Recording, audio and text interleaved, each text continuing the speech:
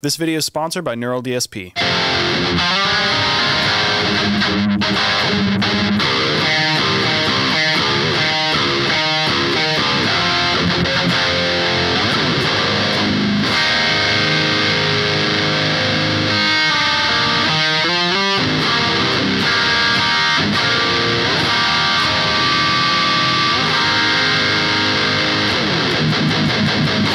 Welcome back to Thick Riff Thursday, ladies and gentlemen. Today is a very exciting episode because we are writing a riff with the Neural DSP Nano Cortex, and I'm super excited about it.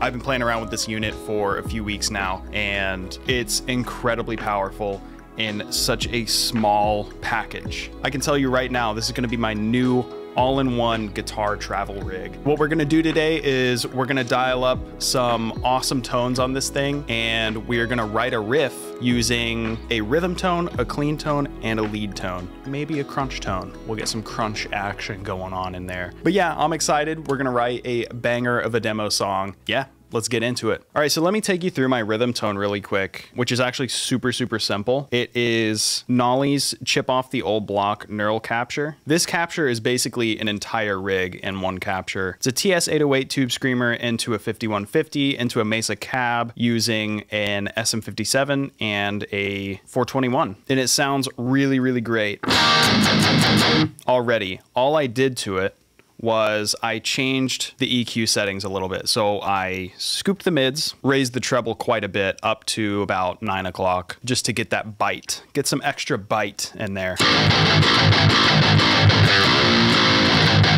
So here's what the capture sounded like before those EQ changes. Sounds great, it's just a little dark. So to modernize it a little bit, I added the noise gate here. I've got it cranked all the way up 100%. I'm not using any of the post effects right now. I'm not using the pitch shifter right now, but those are available. When I dial in a lead tone later on in the video, I'm definitely going to use these post effects. But yeah, right now that is the rhythm tone. It is super simple. Typically, captures are not going to be an amp head and a cab at the same time. So if the capture we were using did not have a cab included, we could also pick a cab down here and out of the box, it starts you off with these five cabs, but you can load any cabs from the Cortex Cloud into the Nano Cortex cab slots there. So with that said, let's record this riff. Okay, so my riff idea for today, at least to start off with, is kind of like a really fast rhythm. And I'm doing this ugly chord. It's okay, listen, the chord is ugly, but when you give it context, it's not ugly at all. It's actually very pretty and melodic, very cutesy, very mindful, very demure.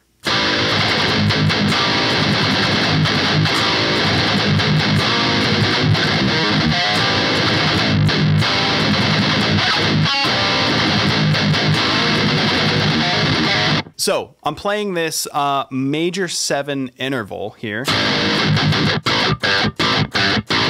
but we're actually in C minor which is here on the fourth fret.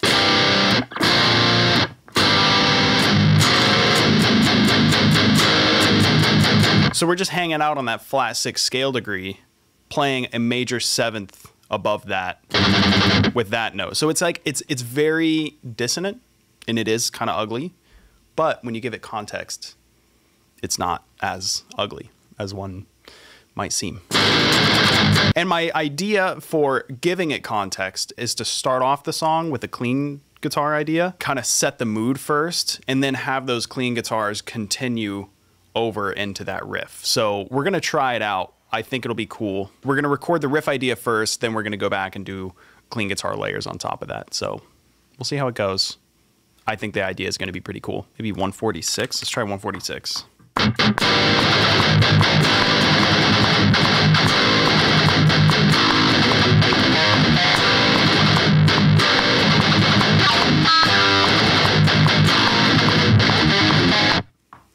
Sick. Yes, exactly what we were looking for. All right, you guys know the drill. We got the scratch take. Let's put our drums in here. So one of the coolest things about the Nano Cortex is that it is an interface. You can record the printed tone and you can record the DIs straight from the Nano Cortex via USB-C. It's also powered via USB-C which is amazing for travel. If you're on the go and you want a travel rig, this is it right here. So for me right now, I do want to get the printed tone. I'm not too worried about getting the DI, but if I wanted to get the DI as well as the printed tone, the printed tone comes through inputs three and four, but the DI comes through inputs one and two. So if I wanted to get the DI as well as the printed tone, I could duplicate this track, hit input one and two. Actually, since it's a DI, I really only need input one. So I can make that a mono track because I'm not worried about recording any stereo effects. And then I can record enable both of these tracks and I could get my printed tone as well as my DI at the same time.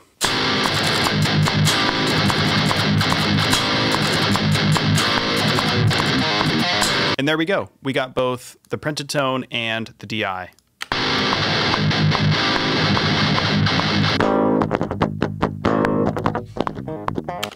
For today, I'm happy with just getting the printed tone. All right, so we've got my scratch take of this riff idea. Let's get my drums in there.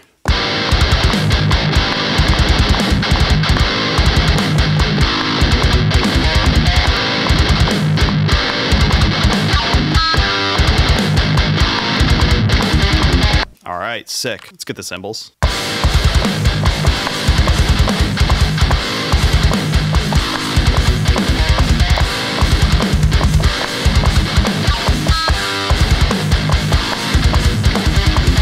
Sweet, that was actually pretty good. All right, before we start getting takes, I'm actually gonna throw it into tuner mode, which all we have to do is hold down both of these pedal buttons here, and then we're in tuner mode, and it shows on the app, and it shows here too. So these four lights here around the knobs, they'll light up, and when they're in the middle two, and they start flashing, that string is in tune. There we go. And to get out of it, you just press those two buttons in again. You don't have to hold them. Just tap them and you're back.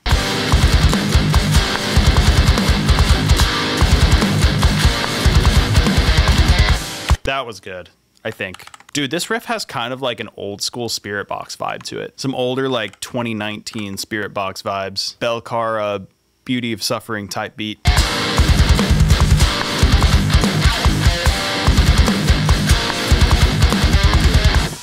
That was a good take. I think there's a comp in there. Yeah, that fill is good. You know what? I'm realizing now that on the first take I got, the fill is incorrect. It kind of works as a harmony though. Kind of like the harmony. I did that on accident. I didn't realize I was doing that, but it's kind of dope. All right, real quick, let's get the bass, which we are just going to copy the kick and snare MIDI onto the bass track. And we just got to program this fill. And these are going to be pull-offs actually, so let's change the articulation to pull-off.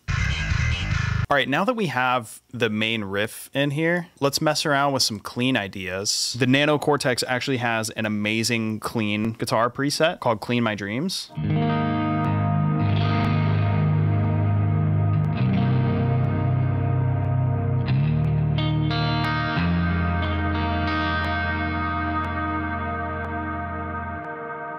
How awesome is that? And actually, there's a Clean My Dreams octave as well. Which would be great for a melody. Man, that reverb is so long.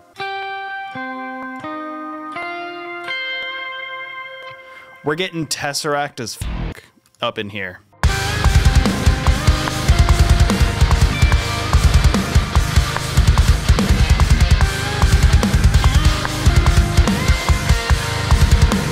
There we go. That's cool. I was looking for a B section. I was looking for something else to switch it up with, and that was cool. Ah, oh, my hand got stuck. my hands are sweaty. I don't know if that ever happens to you guys, but you're trying to slide, but your hands are sweaty, so you don't quite get there. that sucked.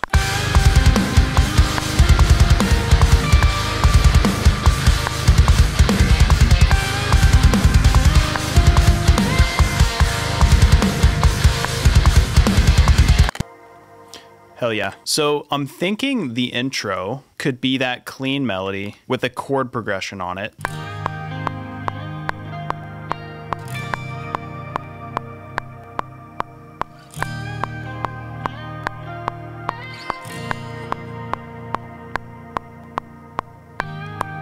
It would actually be sick to do a reverse version of this reverb tail.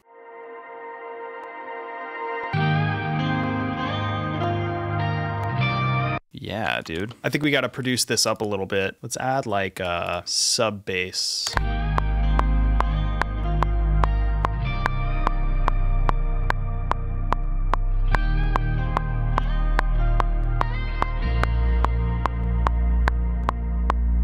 I'm thinking we can add a lo-fi track that kind of swells in here.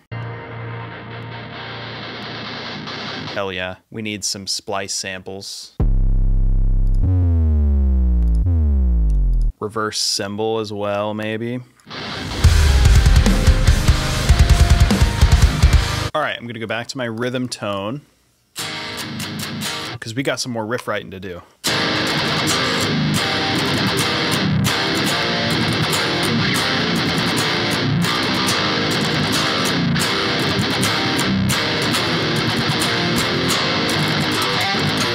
I like that. That's cool. That's a cool idea for this second section. I also think it's going to be like more of a solo section as well. I want to do something like that at the end. I'm not sure exactly what yet. That's cool. That's a cool little fill. I think we're going to pick up the tempo here too. Or not the tempo literally, but like double time the drums. That'll be sick.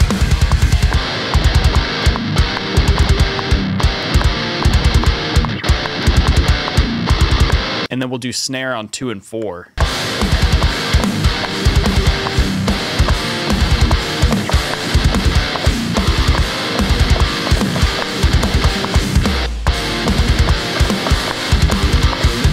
All right, we got to get good takes of this riff now.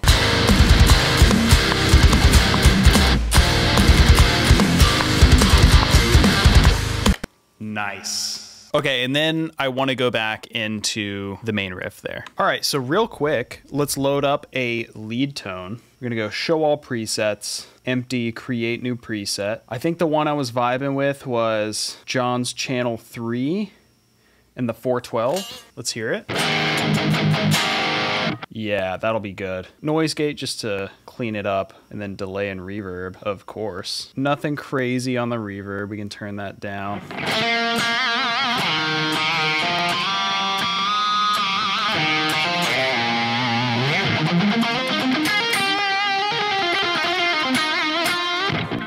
Hell yeah. That's a lead tone right there, brother. There we go. Let's just noodle around. Let's just noodle around until we get some good ideas.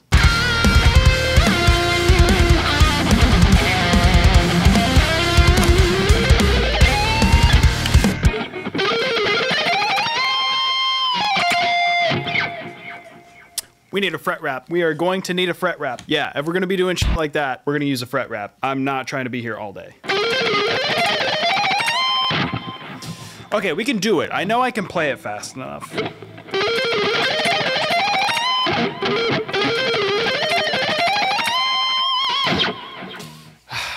All right, it's possible.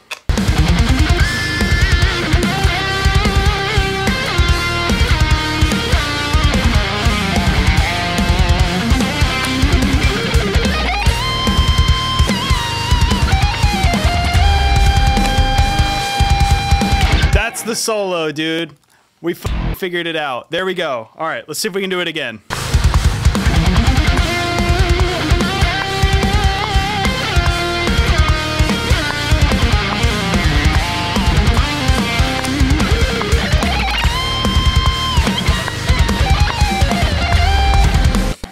Oh my lord.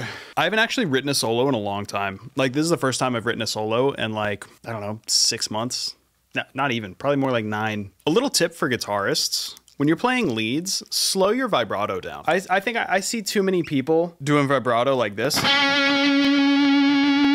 Like shaking your whole arm. Just get into it. Slow it down.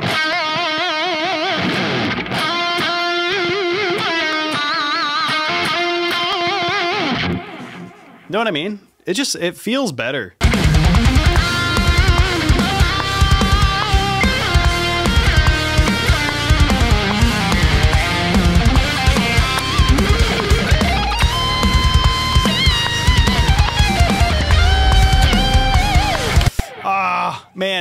Was actually pretty good until that fast run. Yeah, let's just get that ending separately because everything else is is good. This lick got faster. I don't know what happened. The song got faster. This isn't what it was 10 minutes ago. I'm losing my mind, man.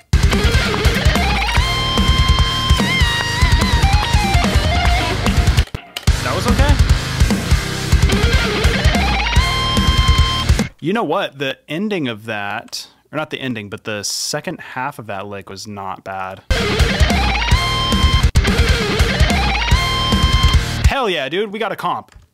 We got a comp. Finally, Jesus Christ. We finally have the solo that took forever. I remember now why I don't write solos. there we go. We got a riff, boys. All right, let's throw the mastering chain on there and give it a listen.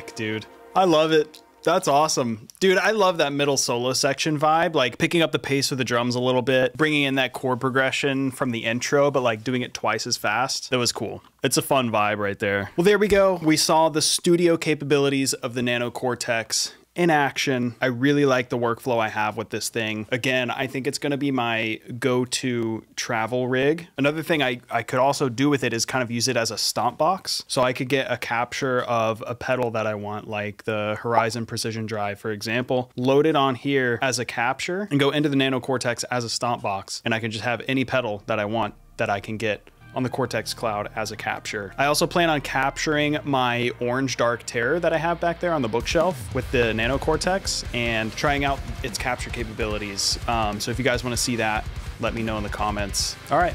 Thank you guys for watching. I hope you have a great rest of your day, and we'll see you guys next week. Peace.